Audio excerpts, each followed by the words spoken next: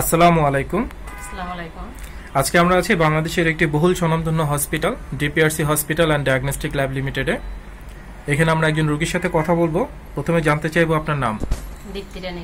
দীপ্তি রানী Saha. Ma'am আপনি কোথা থেকে এসেছিলেন? আমি নোয়াখালী হাতিয়া থেকে আসছি। নোয়াখালী জেলার হাতিয়া থেকে এসেছেন। জানতে চাইব এই ডিপিআরসি হাসপাতাল আপনি মূলত কি সমস্যা নিয়ে প্রথমে এসেছিলেন? আমার হয়েছে তিন বছর যাবত আমি কোমর ব্যথায় এবং ঘাড়ে ব্যথা এবং ডান হাতে শোল্ডার জয়েন্টে ব্যথা ভুগতেছিলাম গত তিন বছর যাবৎ আপনি এই বছর ভুগছেন। হ্যাঁ। আচ্ছা এই ডিপিআরসি হাসপাতালে আপনি মূলত কোন ডক্টর সাহেবের আন্ডারে ট্রিটমেন্ট নিয়েছেন? ডাক্তার প্রধান স্যারের কাছে। ডক্টর মোহাম্মদ শফিউল্লাহ প্রধান ওনার আন্ডারে ট্রিটমেন্ট নিয়েছেন। কতদিন যাবত ট্রিটমেন্টটা নিয়েছেন? আজকে এগারো দিন। আজকে এগারো দিন। আচ্ছা আজকে এগারো দিনের পরে এখন বর্তমানে আপনার কি অবস্থা? এগারো দিন ট্রিটমেন্ট নেওয়ার পরে বিভিন্ন ধরনের থেরাপি প্রয়োগের পরে আমার কাছে অনেক ভালো লাগতেছে। আমি একশোর মধ্যে প্রায় নাইনটি পার্সেন্ট সুস্থ বোধ করতেছি। নাইনটি পার্সেন্ট আপনি সুস্থ বোধ করছেন। আচ্ছা আপনি গত তিন বছর যাবত আপনার এই ধরনের সমস্যা আপনি ভুগছেন আপনি বলেছেন। তো এটার জন্য কি এর আগে কোথাও ট্রিটমেন্ট করিয়েছেন কিনা? হ্যাঁ আমি বিভিন্ন ডক্টরের কাছে ট্রিটমেন্ট নিয়েছিলাম কিন্তু ওই যে ব্যথার ওষুধ খেলে আমি কিছুদিন ভালো থাকতাম। এরপরে আবার আমার ব্যথা শুরু হইতো। আচ্ছা যতদিন ওষুধে আপনি ট্রিটমেন্টে থাকতেন ততদিন ভালো থাকতেন পরবর্তীতে আবার আগের অবস্থায় চলে যেতেন। আচ্ছা এই সমস্যাটার কারণে আপনি মানে আপনার প্রাথমিক জীবনে কি ধরনের সমস্যার সম্মুখীন হতেন আসলে আমি তো জব করি আমার জবটা হয়েছে বসার। সারাক্ষণ বসে থাকতে হয়। আমি দীর্ঘ সময় ধরে বসে থাকতে পারি না। কোমরে প্রচণ্ড ব্যথা হয় মেরুদণ্ডে ব্যথা করে। তারপর ঘাড় নিচু করে আমি লিখতে পারি না। মানে অনেক কষ্ট হয় এবং ভারী কোনো কিছু উঠাতে পারি না। আচ্ছা। সকালবেলা ঘুম থেকে ওঠার পর মানে প্রচণ্ড কোমরে ব্যথা হয়। আমি উঠইয়া কোনো কাজ করতে পারি না।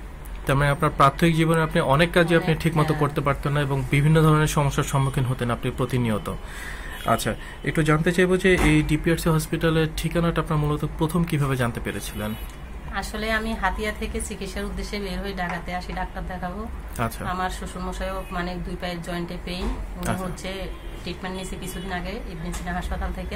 আচ্ছা। পরে আমরাও ওইখানে ঠিকানা নিয়ে আসছিলাম। তো হঠাৎ করে আমি আমাদের এই হাতিয়া থেকে আসতে হয় লঞ্চে।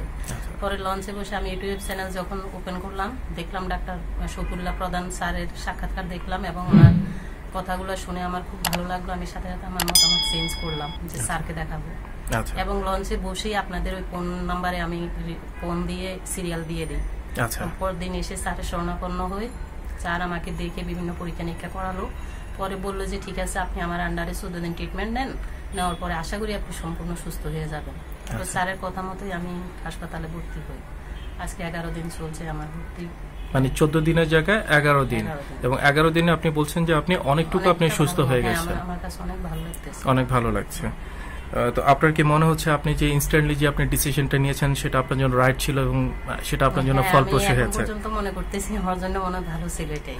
আচ্ছা একটু জানতে চাইব এই ডিপিআরসি হাসপাতালে আপনি যে কয়দিন ভর্তি ছিলেন? এখানকার যারা ডক্টর ছিলেন নার্স বা অন্যান্য স্টাফরা তারা কি টাইম টু টাইম আপনার প্রতিটা যে ট্রিটমেন্ট সেটা কি নিশ্চিত করেছে? আপনি কি টাইম টু টাইম সব ধরনের সেবা কি আপনি পেয়েছেন? হ্যাঁ আমার এখানকার স্টাফদের মানে ওনাদের সেবা খুবই ভালো ছিল। ওনারা যথাযথ টাইমে এসে আমাকে থেরাপি দিয়েছে এবং আমার সবসময় খোঁজখবর নিয়েছে। ম্যানেজমেন্টের লোক যারা ছিলেন ওনারাও আমাদের যথেষ্ট খোঁজখবর নিয়েছেন সুবিধা অসুবিধা জানতে চেয়েছেন। অনেক ভালো লেগেছে আমার পরিবেশটা। আর এখানকার পরিবেশও তার মানে হ্যাঁ, অসম্ভব ভালো লেগেছে আপনাদের। আচ্ছা একটু জানতে চাইব আপনি যে ধরনের সমস্যা ভুগেছেন গত তিন বছর যাবত আপনি বিভিন্ন জায়গায় ট্রিটমেন্ট করেছেন হয়তো আপনি ঠিক কাঙ্ক্ষিত আপনি ফল পাননি। হয়তো কিছুদিন ওষুধ খেয়েছেন ভালো থেকেছেন পরবর্তীতে আবার সে আগের অবস্থা আপনি ফেরত গিয়েছেন। তো আপনার মতো এরকম অসংখ্য আমাদের মা বোন আছেন অনেক রুগী আছেন যারা হয়তো সঠিক ডক্টর খুঁজে পান না বা তারা দেখা যাচ্ছে যে হয়তো কার কাছে গেলে তাদের ভালো হবে সেটা বুঝতে পারেন না। অনেকে দেখা যায় যে বিভিন্ন ধরনের অপচিকিৎসার সম্মুখীন হন। অনেক ভুয়া ডাক্তার আছেন, তারা তাদের হয়তো সর্বস্ব নিয়ে যান কিন্তু তারা ভালো করতে পারেন না। তো সেই সব ভাই বোনদের উদ্দেশ্যে কি কোনো মেসেজ দিবেন আপনি? হ্যাঁ অবশ্যই দেব। যারা এরকম ব্যথা নিয়ে দীর্ঘদিন ধরে কষ্ট করতেছেন, ব্যথানাশক ওষুধ খাচ্ছেন, আসলে ব্যথানাশক ওষুধ শরীরের জন্য অনেক ক্ষতিকর। ব্যথা ওষুধ খেলে হয়তো সাময়িক ভালো থাকা যায়, কিন্তু পুরোটা সুস্থ হওয়া যায় না। আমি তাদেরকে বলব, আপনারা ডাক্তার মোহাম্মদ শফিউল্লাহ প্রধান স্যারের স্বর্ণাপন্ন হন। স্যারের কাছে ট্রিটমেন্ট নেন। ভর্তি থেকে বিভিন্ন থেরাপির মাধ্যমে নিজেরাও উপকার উপকৃত হন। আমি মানে আপনি নিজে উপকৃত হয়েছেন আপনি হ্যাঁ। ভাবছেন যে তারা অবশ্যই হ্যাঁ, উপকৃত হবেন। এটা আপনার বিশ্বাস হ্যাঁ, অবশ্যই। সবশেষে জানতে চাইব এই ডিপিআরসি হসপিটাল থেকে আপনি যে ধরনের সেবা পেয়েছেন সেই সেবার মানকে আপনি আউট অফ টেন দশে কত দিবেন আপনি মার্কস দশে দশে দেবো। বিটি ট্যুরিজের পক্ষ থেকে আপনাকে অসংখ্য ধন্যবাদ আপনার মূল্যবান সময় এবং মূল্যবান মতামত দিয়ে আমাদেরকে সহযোগিতা করার জন্য। আসসালামু আলাইকুম। আসসালামু আলাইকুম আপনাকে অসংখ্য ধন্যবাদ। আমরা জানি আপনার প্রিয়জন আপনার জন্য কতটা গুরুত্ব বহন করে। প্রপার ডায়াগনোসিস কনসালটেশন পেইন ও প্যারালাইসিস চিকিৎসা পুনর্বাসন আমাদের সব আয়োজনই সব সময় আপনাদের জন্য চব্বিশ ঘণ্টা খোলা। আমরা চাই না আপনারা বারবার আমাদের কাছে ফিরে আসুন তবুও আমরা আছি সব সময় সর্বদা আপনাদের পাশেই। ডিপিআরসি হসপিটাল লিমিটেড আস্থা বিশ্বাস ও নির্ভরতায় অবিচল।